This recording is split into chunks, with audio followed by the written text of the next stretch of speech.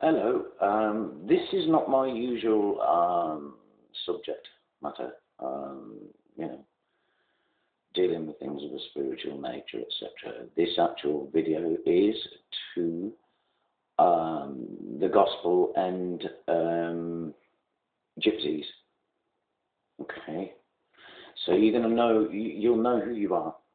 Um, basically, uh, I'm going to address you directly um, because I need to know something. Um, but first of all, I would like to state that um, there was the death at the quarry. Uh, the kid died, and um, there was a ban on everybody going at the quarry by where you live. And um, just banned absolutely everything. So uh, no one could go up there. We we were to guard it, and so we did. And um, what I want to say, basically, is that while we were guarding the place, the gypsy families had behaved very, very admirably they were never, ever any problems on all that time when I was working on that site. There was never, ever any problems to do with gypsy families.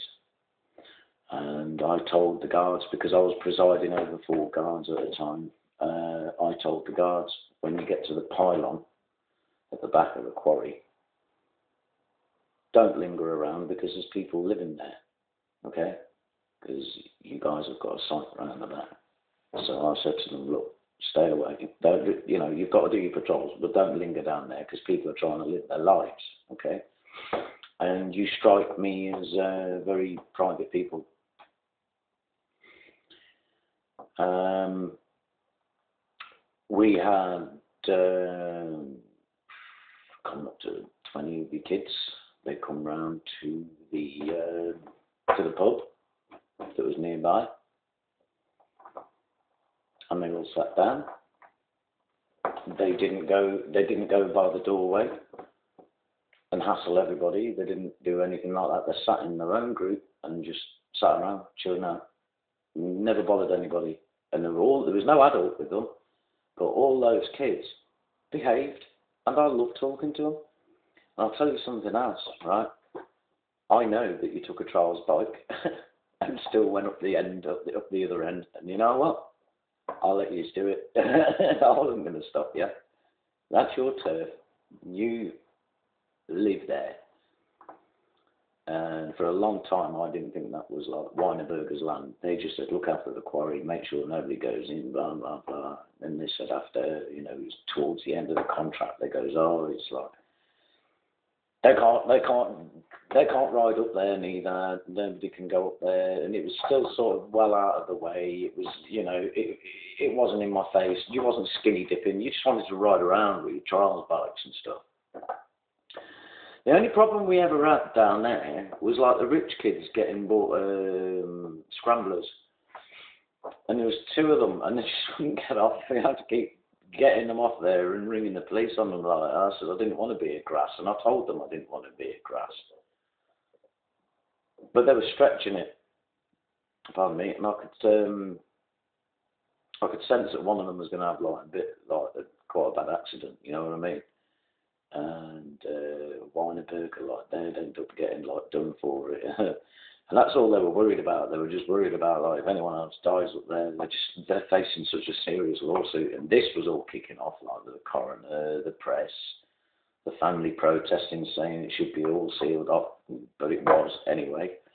But they're in that state. They've just had a, a, a horrible loss, so they're going to be pointing the blame at people.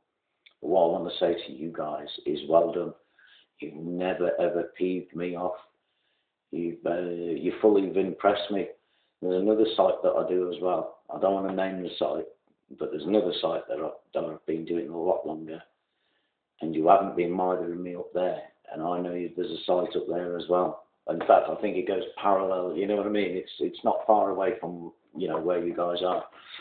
And you've been looking for metal. You've been doing your thing, and um, even though I'm on different sites at the moment, I've still got that promise that um, you know if I find out that the metal up in the field and that you know that they're not bothered with it anymore, and it's just going to be a nuisance to them. I've got one of your phone numbers and I know where you live. So at the end of the day, you've stood by your end of the bargain, right? So what I'm going to do is, because I said to a couple of the guys that came up there, look, you know, I'm going to see if I can sort out what metal you can have. They're not going to want to take all of it, right? There's going to be some hanging around somewhere that's like worth a significant amount of money. And um, just, but I don't want to sort of like have any reports of like, you know, gypsies being on the site, blah, blah, blah, you know what I mean? Because I want to give them what they're looking for. If there's any way through this, I'm there'll be some metal left around anyway, and you can make quite a few bits of money from it. But like, um, what I've got at the house, it's um, some. I don't know why they gave me it, but they gave me like three bags. They're about that size, right? and they've got like little pellets in there. They're not slugs for guns because they're normally lead anyway, but these look like could be copper or iron, but it looks like copper to me. Could be copper, but they're heavy. they weigh a ton, um, and there's three bags about that size, packed full of these little pellets that are really heavy. So, what I want to do as a thank you is just to pass them on to somebody. But with you guys being private, you've got your own way of living.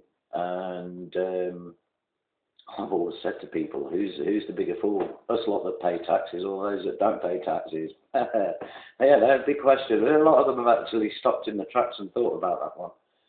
I said, look, I said, I like the gypsies. I said, they know how to live without the system, you know what I mean? I said, I wish I was that brave. I hate the system. but I've got like biblical reasons for not being into the system because there's going to be a lot of things coming up that I'm not allowed to accept and mark of the beast and all that kind of information. Like, but big subject. If you want to ask, feel free. Um, you know, so being a gypsy would have been ideal for me. no council tax, no, no ties. you know what I mean? Um, just work on a barter system, like do a bit of grafting for a farmer and get all my fruit and veg or something. but anyway, um, what I want to do is just give them as a gift, but maybe sort of be able to contact somebody. Um, I, I don't quite know how you work it. You must have like the mature side. You've got an elder, like or a main guy that looks after you guys if there's any legal matters and whatnot. You know that you've got a main guy for it that deals with it. I would imagine you're pretty organised. But if I could sort of, if somebody can get this to a main guy text me. I don't have to come on your site, you know, because very often I'm in uniform. You probably shoot me. so, you know what I mean? No.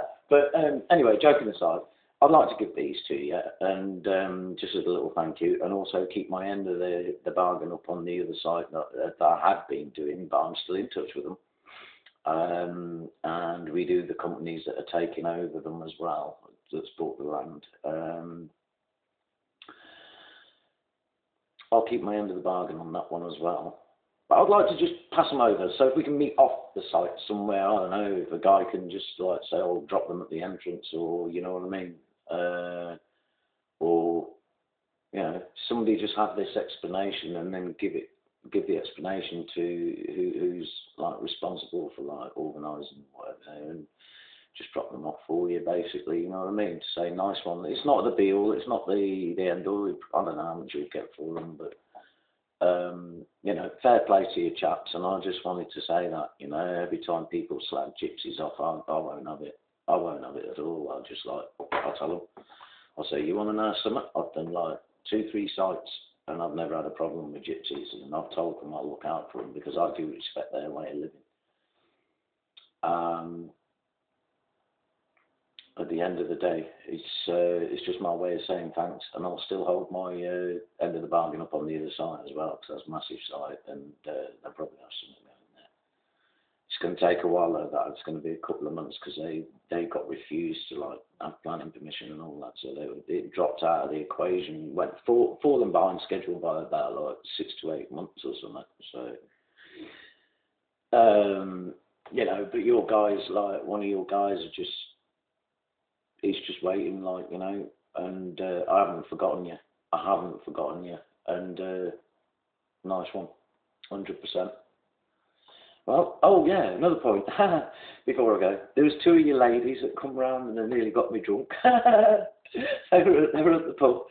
I had to wait till the end of duty before I drink, obviously, but like, you know, just sat there like and they were giving me like, uh, I think it was Bacardi and Cokes or vodka and Cokes. I think one of you will remember me. One of you will go, oh, I remember her. You know what I mean? And then uh, your kids will probably remember us because like I saw them all at the pub, but I was just having a chat to them. One of them had like real life in his eyes, in his face, and everything. He looked, you know, I said, "You've got the light in your eyes. You have like for the one kid, like there was just something about him, like he just shone. You know what I mean? Out of all of them, but they'll remember me. They'll remember my mush.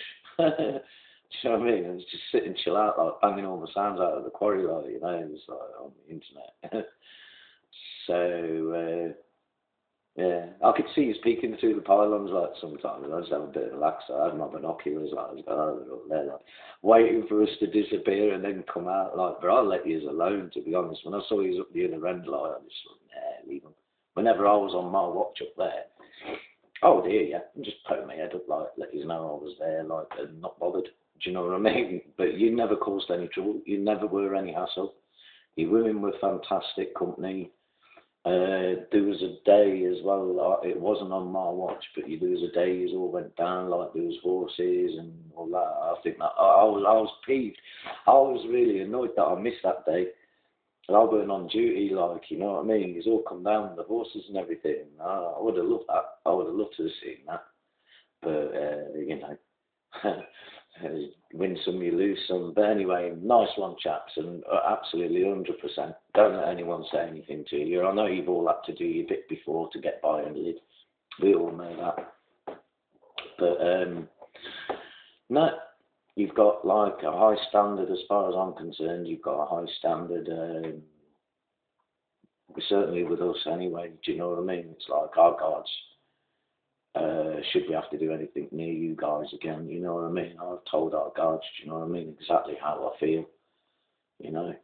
Just give them a break, give them their privacy, um, you know what I mean? So besides, they'll set the bloody dogs on you if you go around there and start lingering around where they live, and rightly so, because I would do the same. Right, I'm going to leave you. If you can uh, leave a message uh, for me, just to let me know um, what what I should do. I don't want to. I don't want to get on anyone's nerves. You private people, you know, you don't go all over the place giving it the large like most of these lot like out here. Like you know what I mean? Your norms, as it were, so they would like to call it. Uh, your normal uh, system run type person, right? I'd rather be abnormal and get out of the system. To be fair, it's like it's crunch time. It's not. It's not going to be too long now. The economy's going. It's like they're making way for a cashless society that I've got to pull out of. I, I'm not to accept the mark, so maybe I'll be a gypsy one day. anyway, speak to you soon and let me know. Just let me know what you want to do. I want to play it by your books because that's your area. It's where you live, and I respect that. So I'll just be. I don't want to just come down the side of my uniform. It's like, what's this like? You know, we haven't done anything kind of thing. Get her out of here. But uh, you got your privacy, and I respect that. So someone can just message me, uh, let me know how I go about this, and then I can just give you. I'll just get a taxi up there, drop it off at some, you know, nearest pub or have you that pub. I could drop it off at the pub for you if you want.